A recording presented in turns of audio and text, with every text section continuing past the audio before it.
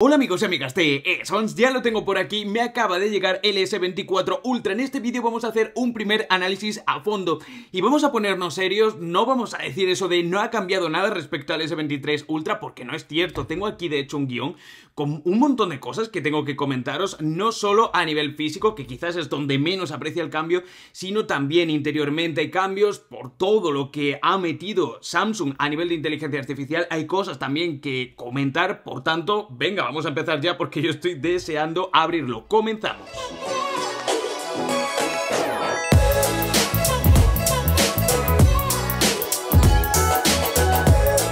Pues nada, sacamos la navajita de camping y directamente... Ah, mira, no hace falta, o sea, si es que estoy muy anticuado, esto lo trae Samsung desde hace ya un tiempo y bueno, muchas marcas, pero yo sigo trayendo... Eso es que hay muchas marcas que no tienen esto de las pestañitas, ¿no? Bueno, simplemente ya sabéis aquí lo típico de que no es un dispositivo que venga con el cargador en la caja, tal cual, que ahora os hablo de esto, que es una de las cosas que bueno, me hubieran gustado que eh, hubieran cambiado en este dispositivo, os hablo de tema de carga, pero ya estáis viendo aquí el S24 Ultra, además en el color que a mí más me gusta, sinceramente. Este doradito, o sea, el dispositivo yo sé que en cuanto a diseño muchos diréis, yo también, os lo dije en el vídeo de las filtraciones, oye, podrían cambiar un poquito, pero también os dije, me gusta un montón el diseño que tiene Samsung en estos dispositivos Ultra desde hace ya un par de generaciones, me gusta mucho ¿Qué ha cambiado? Que os decía que tengo aquí un guion.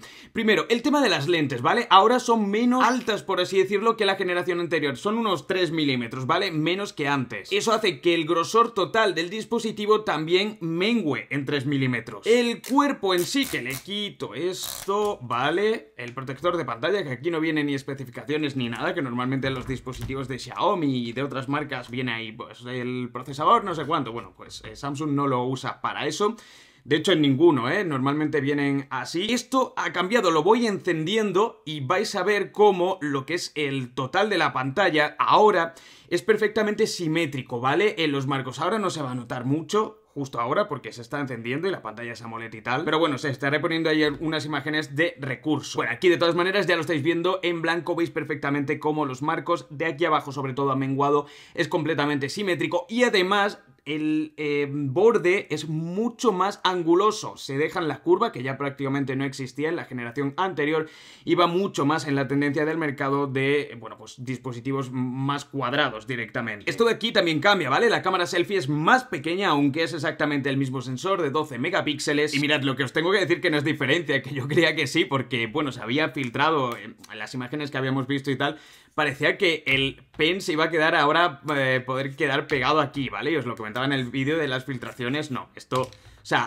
en las imágenes promocionales parecía que sí, Samsung no dijo nada en la presentación y ya me veía yo venir que no, pues no, oficialmente aquí no hay ningún tipo de imán, ¿vale? Se sigue poniendo aquí directamente y ya está. Esto también diferente, el altavoz, ¿vale? Simple estética, pero antes venía como con varias perforaciones, viene ahora con el orificio aquí. Ya os comentaré calidad de altavoz y tal, ya sabéis que voy a hacer mucho contenido sobre este dispositivo a nivel de rendimiento, cámaras, etcétera, y por supuesto, después de unos 50 días os traeré el típico análisis que hago tras 51 días de uso. Pero estábamos hablando del panel. Ahora tenemos hasta 2600 nits de brillo máximo, eso también mejora, mejora la densidad de píxeles por pulgadas, aunque sigue siendo de 6,9, sigue siendo también de QHD Plus la resolución, pero sufre un poquito de cambio, mejora un poco. Y por supuesto esto de los bordes, ¿vale? Ahora tenemos titanio, pero como curiosidad, deciros que no ha mejorado en el sentido del peso puro y duro, ¿vale? Es un dispositivo que según las especificaciones, al igual que la generación anterior, pesa 233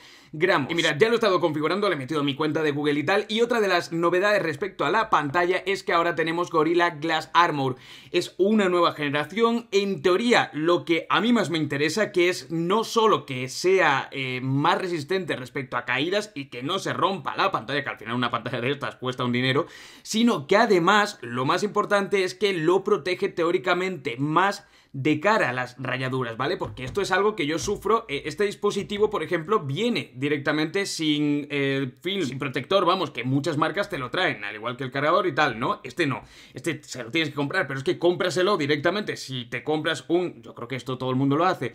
Pero normalmente eh, me he encontrado con dispositivos que llevo un día sin protector y de repente veo como por lo que sea, y mirad que normalmente le cambio. no lo llevo en el mismo bolsillo donde llevo las llaves o donde llevo otras cosas, misteriosamente se raya, no se rompe, pero se raya con una facilidad, pues en teoría eso lo han solventado en este cristal que es todavía más resistente. Os tengo que confesar que da mucho placer visual eh, usarlo, ¿vale? Sobre todo por eso, por la simetría que tiene y mirad que es algo lo que yo personalmente no eh, me desviva, ¿no? Ah, tiene que ser simétrico tal, pero sí que es cierto que, que tiene algo y ya os decía, las generaciones anteriores me gustaba mucho. Y ojo, no quiero decir con esto que, en, en, las filtraciones decíais, oye, tengo un S23 Ultra, creo que no me merece la pena cambiarme. A ver, si tienes un S23 Ultra, obviamente no te va a merecer, pero ni de una generación a otra en cualquier marca y prácticamente en cualquier serie de dispositivos móviles. O sea, es muy difícil que te compense. Otra de las novedades respecto a la generación anterior, el procesador, el Qualcomm Snapdragon 8 generación tercera, for Galaxy, ¿vale? Que además una de las cosas que comentaron es que viene con una refrigeración más grande, la más grande que nunca se ha creado para un dispositivo y para este procesador. Además viene, en cierta manera, overclockeado por parte de Qualcomm, al igual que nos lo encontrábamos el año pasado. Pero, os tengo que decir, y haremos pruebas de esto, que tengo el Nubia Z60 Ultra y tengo también el Xiaomi 14 Pro ya con este procesador desde hace un tiempo que quiero verlo a nivel de rendimiento si es un escalón o está un escalón por encima, porque el año pasado lo cierto es que no, no había mucha diferencia el hecho de que fuera for Galaxy Platform o no. Y no solo potencia, ¿eh? os hablo también en términos de estabilidad, temperatura, calentamiento, lo probaremos todo, estaros atentos al canal que vienen muchos, muchos contenidos sobre este dispositivo. Y ojo que hay otra novedad respecto al rendimiento, por así decirlo, más al almacenamiento.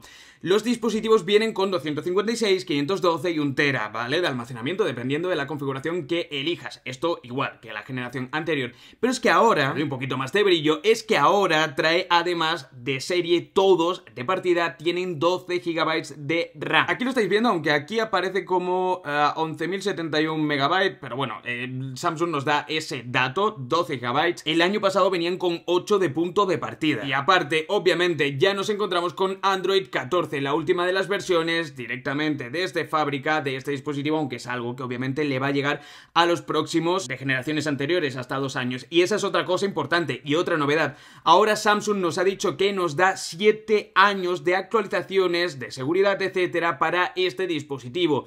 Por lo tanto, se equipara a los Pixel y está por encima de la gran mayoría de dispositivos del mercado. Otra novedad también importante. Vale, me ves aquí con Spotify iniciado porque os tengo que mencionar brevemente Áptico. Es el podcast semanal que grabo junto a Dani Vega sobre actualidad tecnológica y de innovación. El último lo acabamos de sacar hace unos minutos, el último capítulo. La semana que viene hablaremos en más profundidad del Samsung Galaxy S24 Ultra. Si no lo conoces, te gusta la innovación, tecnología, lo puedes escuchar tanto en Spotify como en tu plataforma de podcast favorito. Échale una escucha porque estoy seguro de que te va a gustar. Y mirad que todavía hay más y aquí entramos donde a más Samsung le va a gustar, ¿no? Que es el tema de toda la inteligencia artificial a nivel de software que le han metido a este dispositivo, aunque también lo encontramos en otros de la serie S24, ¿no? La primera de la que os voy a hablar brevemente, vamos a ir enumerándola porque de hecho esto da para otro vídeo en profundidad, el tema de la traducción simultánea en el propio teléfono, de esta manera poniendo un idioma principal en el que queramos traducir y en cuál queremos traducirlo. La llamada, lo estáis viendo aquí, durante la llamada, si estamos hablando, por ejemplo, en este caso con un coreano, vamos a poder entender, porque nos va a aparecer aquí la transcripción de todo lo que nos va diciendo esa persona directamente en el teléfono y la vamos a poder entender. Luego, obviamente, no le va a traducir mm, nuestro español al coreano, pero eso es ya otro escalón que si la otra persona tiene también un dispositivo Samsung, pues bueno, eso que se lleva. Segunda novedad de inteligencia artificial que os tengo que comentar, esta dijeron que era como eh, estaba eh, junto a Google, ¿vale? Porque al final usa el motor de búsqueda de Google. Tenemos el pen aquí directamente, que de hecho todo en todo esto es lo que se basó esa imagen que veíamos antes de la presentación, que se hacía como un círculo. Vale, pues ahora lo que vamos a poder directamente, que nos va a hacer aquí spoiler, directamente, porque es la primera vez que estoy sacando el pen con el dispositivo encendido, vamos a poder eh, seleccionar cualquier objeto. Estoy aquí, por ejemplo, en Tapas Magazine, ¿vale? Y dejamos pulsado esto aquí, ¿vale? Probar ahora efectivamente es lo que quiero hacer, se nos abre esto, le damos aquí bueno, y nos ha cogido directamente que son melocotones. Esto nivel bastante básico, ¿no? Pero yo que sé, a ver, vamos a buscar algo un poco más... Esta, vamos, Berlín, ¿no? Esta es la nueva serie que ha sacado Netflix y tal. Dejamos pulsado a ver si es capaz de detectar que es este actor, que no me acuerdo ahora mismo cómo se llama. Bueno, reconoce, ojo, eh, digamos, la misma fotografía, ¿vale? Porque parece que lee lo que es la fotografía en sí, si yo le quiero poner la cara, solo quiero saber quién es. Ostras, mirad, qué cosa más interesante. O sea, claro, como es el reconocimiento al final de eh, mm, la imagen, nos aparecen personas, ¿no? Que aparecen en Google con un outfit más o menos similar. Curioso, la verdad que mola, pero esto sobre todo, a, mí me ha pasado, ¿eh? No sé si vosotros usáis mucho Google Lens, que al final más o menos es el mismo rollo, lo que vamos a tener aquí es más sencillo, no es un paso más. También lo podemos hacer con el dedo, ¿eh? No hace falta que lo hagamos con el pen. Pero, eh, yo qué sé, ver una camiseta o ver cualquier tipo de cosa que no ubicaba del todo, darle a ver si Google... Me pasó con un mueble, ¿eh? Que lo vi y digo, a ver cuánto costará eso. Y lo metí directamente en Google Lens y me dio... Eh, reconoció cuál era el mueble, eh, era un tipo de silla y me dijo cuánto costaba y digamos todos los datos. Vale, otra novedad respecto a los mensajes, ¿vale? Estoy aquí en SMS normal, pero todo esto va integrado en la parte de teclado de Samsung, ¿vale? Samsung tiene sus propios teclados, por eso tienen también sus propios emoticonos y tal. Igual que te puedes descargar Gboard, meterlo y tal. Vale, de hecho no sé si esto estará, que creo que los dispositivos mm, que no son Samsung también se pueden instalar la aplicación de Samsung de teclado, pero supongo que no le meterán esto todavía de momento.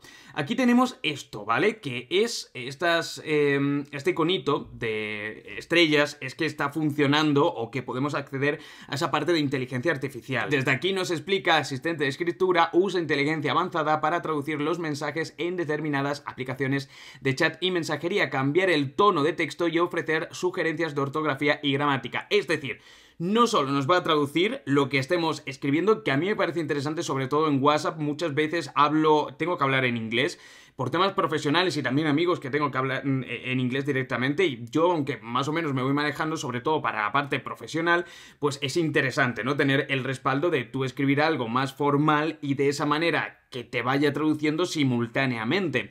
Y no solo eso, sino que además, como veis aquí, que esto habrá que probarlo y, como os digo, dedicarle tiempo y, a mí me gusta hacer las cosas así, pero bueno, son varias novedades y os la quería comentar, ¿no? En este vídeo. El tema del tono me parece súper interesante es que si quieres mantener una conversación formal, por ejemplo, te va a, eh, dentro de tu idioma, decir diferentes sinónimos o sinónimos de estructuras más formales o si le quieres dar un tono más informal. Esto me parece también muy interesante y tengo muchas ganas de probarlo.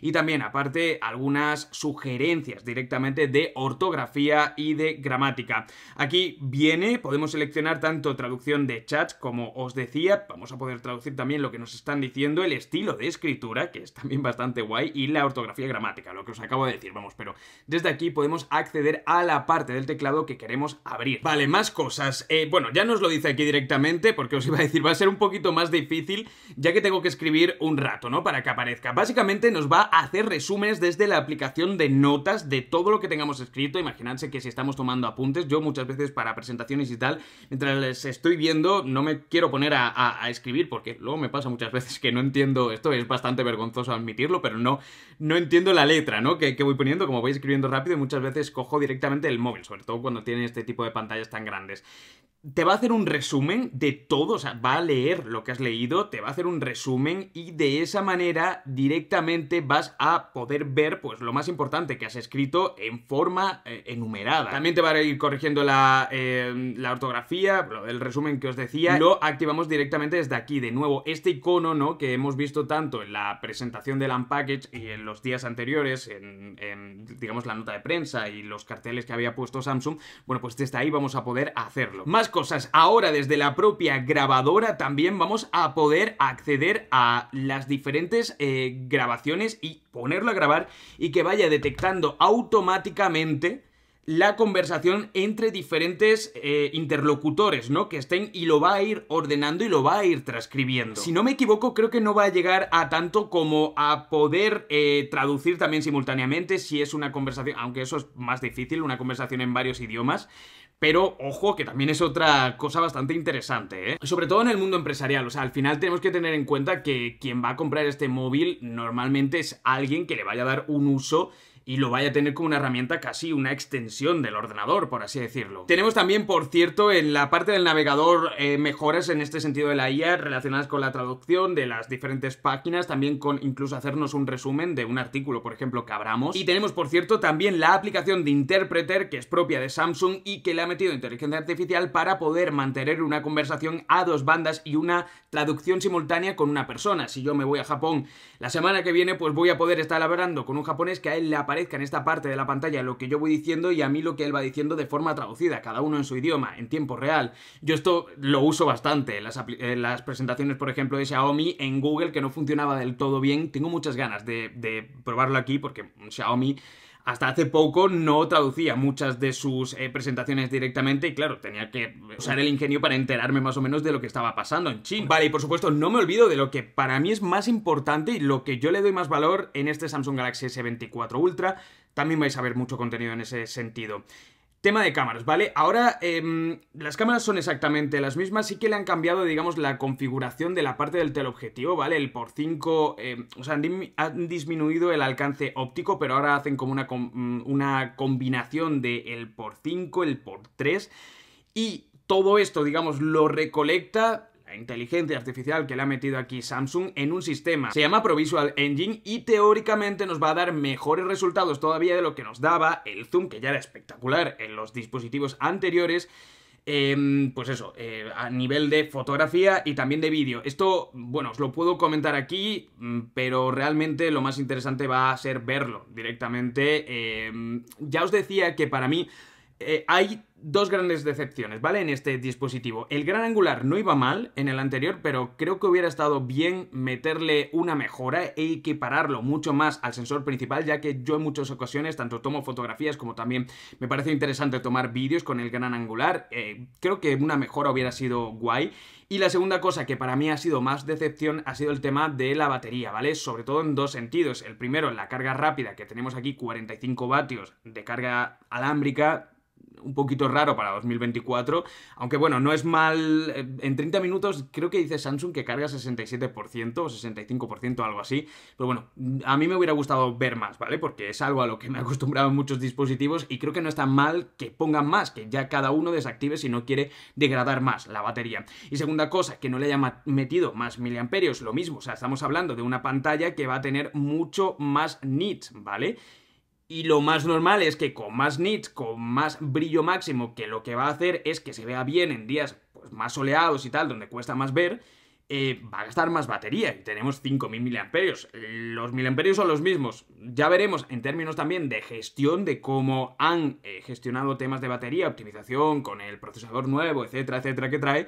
Pero bueno, yo creo que no hubiera estado de más incluir esas mejoras. Pero bueno, yo creo que para comenzar, para este primer análisis a fondo, ha quedado un vídeo bien sustancioso, ¿no? Con bastantes mejoras, yo creo que prácticamente sin haber entrado en la parte de cámaras, que tiene un montón de también mejoras a nivel de software, sobre todo, ya os decía, la parte física tiene muy poquitas, pero creo que ha quedado lo suficientemente eh, interesante con todas las novedades que he ido comentando. Si me he dejado alguna, Cualquier prueba que queráis ver, que os apetezca ver de este dispositivo, ya os digo, haré rendimiento, análisis tras 50 días, haré pruebas de vídeo en 4K 60 de día y con HDR, como hice el año pasado, nocturno también, por supuesto, vais a ver muchísimo contenido, como os decía por aquí.